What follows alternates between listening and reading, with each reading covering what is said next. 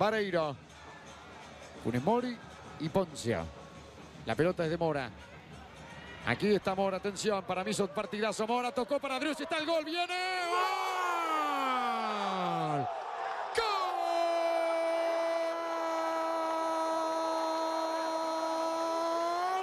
¡Gol!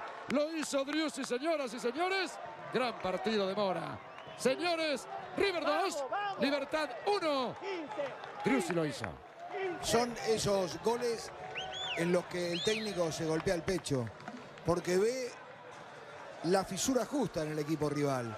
Y aquí Mora pone un pase excepcional para Driussi y Driussi convierte el gol que le encomendó Gallardo. Por supuesto que no se lo pidió, pero lo pone en la cancha al goleador para que lo convierta.